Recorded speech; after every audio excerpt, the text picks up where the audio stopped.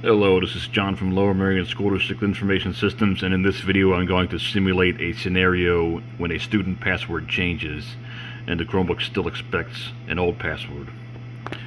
So here we see we entered a student ID. We just click next.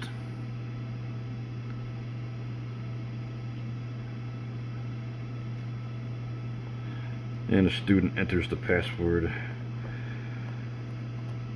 from PowerSchool. We'll click next. Now they may encounter the screen that says enter an old password. When this happens we want to click the blue forgot old password link right here and then we'll be given the option to proceed anyway. So we'll click that